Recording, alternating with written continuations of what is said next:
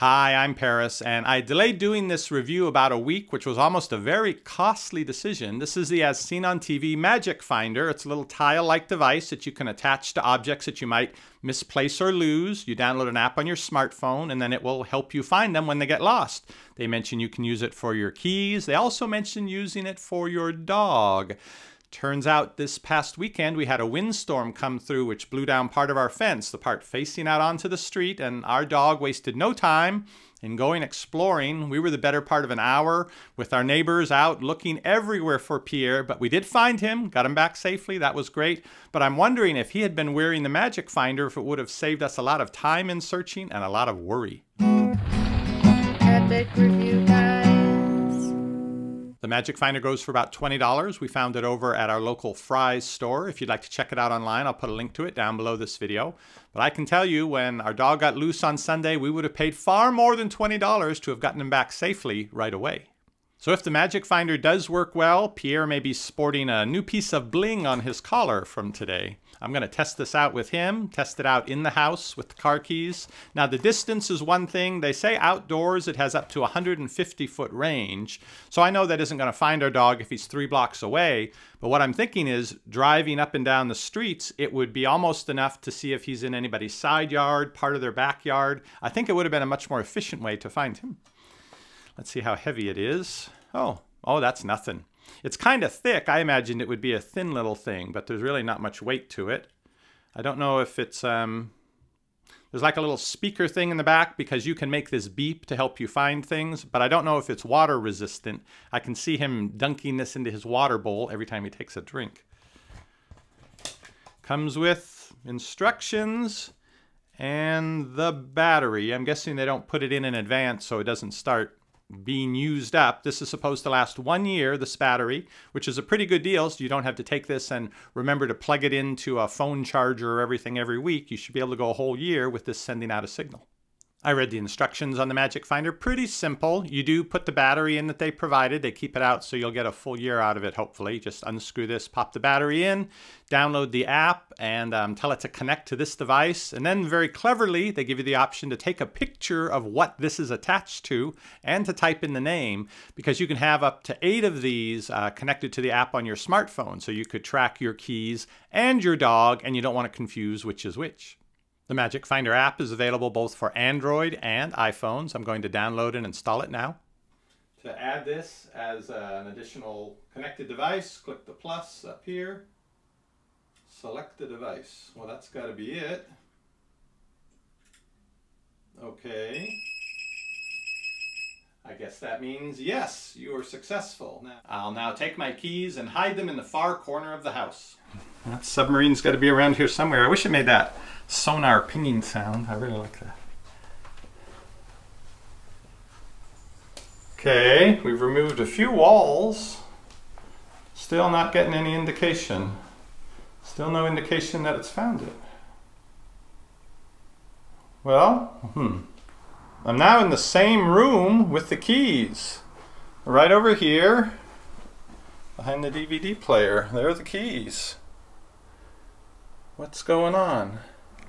There's supposed to be a reverse thing so that you can um, push something here that will make your phone beep, kind of use it in reverse to find your phone. If you have this but you can't find your phone, I think that's what this button is for. So yeah, we haven't got communication going either way. Not sure if this is related, but it's not showing up in my Bluetooth paired devices. I'm thinking the problem isn't with the electronics in the device itself, it's a software hardware glitch sort of thing, so I'm going to work on that. Now my phone is a Nexus 6P, a very new phone with Android version 6, so it's possible that their app, their hardware doesn't work correctly with this yet. So I'm going back to my old standby, my ZTE ZMAX with Android version 4.4. This time I stopped on the app's homepage to take a look at some of the other comments people have made about it. Um, and as you can see here, some other people have been having problems with the Bluetooth connection as well, but I'm going to download it and give it a try.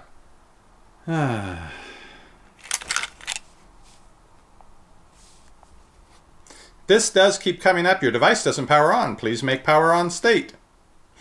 Well, my Bluetooth is on. Let me turn off the Wi-Fi. Maybe that'll help here. Wi-Fi is off. Okay. Um, I don't know why it did that. It doesn't say devices powered off now. Hey, that's working, because that's what it's supposed to do. it sounds ill, but it's working. Okay, and then I think when I click found it, that tells it stop doing that. Yay! We're making progress here. Okay, radar time. It's radar love! Look, it's right there. So it found it. It's zero feet away, which is correct. Time to go hide the keys. Okay, I have taken the keys to the far corner of the house, back to where I normally record the videos. Let's see if we can find it now. Again, several walls between here and there. That might be an issue. It's on the other side of this wall, but it still doesn't seem to know it's there. We will go around through the hallway.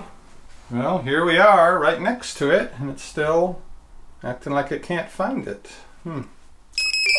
Oh, okay. We actually... What? Who's doing that and why? It said we, it came to the conclusion we were out of range. All right. Let me restart the app. Hmm. Okay, so that just means we're all good. So I'm going to go a little distance away. We're about 10 feet away. Let's try radar. And it accurately, accurately reflects that. Whoa, go back to radar. Okay, now if I go further away, it should tell me that I'm getting colder. And what do you know? That works. I had thought, ah, uh, I got beeping here and there. All right, okay, okay, okay. Well, it, you're lucky if you get 30 feet range in the house then. Okay, Pierre, what do you think of this? You're not that interested in it? Okay, we're gonna put this on you and then we're gonna see if we can find you. Did you have fun running off down the street the other day? Was that just loads of fun? Yeah, not for us it wasn't though. What do you think of that on your neck? I'm thinking you don't like it. Does it make you findable? The clanky sound it makes might be able to find you just by that. What do you think? All right, now you gotta go to the far side of the yard and I can see if the thing changes. Ready, set, go! And you gotta go to the far side. Go, go, go. Then I'll go, but you stay there. No, no, okay, then you go. I think I'm gonna have to go outside of the fence. That's the only way we're gonna get to test this out. It's looking for you. You're right on the other side of the fence. I'm not sure why it can't find you. The fence count as a wall?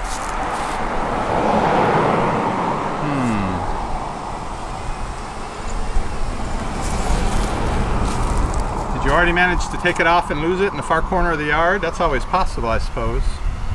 Are you still wearing it, Pierre? I can't see it on you. Walk around so I can hear the jingle. Jingle jangle. Pierre, where'd the thing go? Pierre, you managed to lose it already? Oh my gosh, now I gotta come back there and look for it. Pierre, how did you manage to take that off? Yeah, tell me all about it. I'm not having some plastic thing hanging around my neck. No way. Well, now we should see if we can find it in the grass with this. So that's what it's really going to be used for. When your dog manages to take it off the collar, then you got to find it. Cool. Okay. Now, here's the fence where Pierre was standing.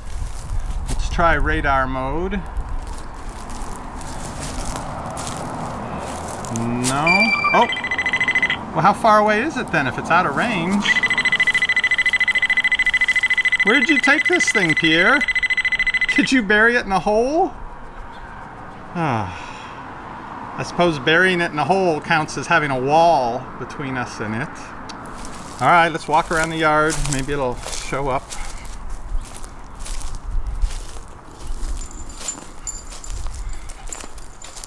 Backyard's not that big. It's supposed to have 150 foot range unless you really did bury it in a hole that quickly. It should, oh, I got sounds coming from over here. Oh, I think I see it. Here we are. Here's where you lost it, Pierre.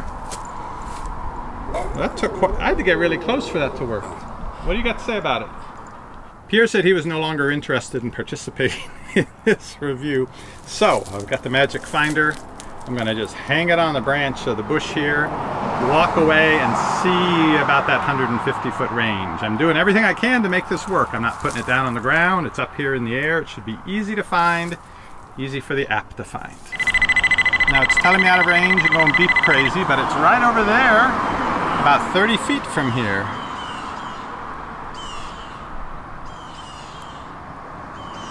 You detect it there, right? Or is this left over from last time? We're certainly not within 15 feet. Got to be at least 30. I think it sees it. Well, that's good. So let's back up. Okay, I've got to be about 50, yeah, 50 feet away, out of range. There, hanging by the fence. Well, that was my experience with the As Seen on TV Magic Finder. I don't think Pierre's going to want to wear this, so we aren't going to keep it on his collar. And at least with this phone, my ZTE Z Max that I was able to get it to work with via Bluetooth, it only seemed to have about a 50 foot range, even outdoors, clear line of sight, just about 50 feet. And I can see 50 feet. I was really hoping it would have that 150 foot range, so driving up and down the streets, I'd be able to tell if, when my dog got away again, if he was in somebody else's backyard. You might have better luck with your phone. Maybe the Bluetooth will work better with this device and give you better range and better performance. Again, if you're interested in this, I have a link to it down below this video. This weekend, I am planning to go out with the kids and maybe the dog down to the creeks in the Greenbelt to pan for gold. We've been sent the very latest in gold panning technology. The problem is I don't think there's any gold in the creeks around here in central Texas, but we're going to give it a try. You can keep checking back for that video or you can click that subscribe button down below. You'll get notified when our videos go up. See you on the next review. Shopping is easy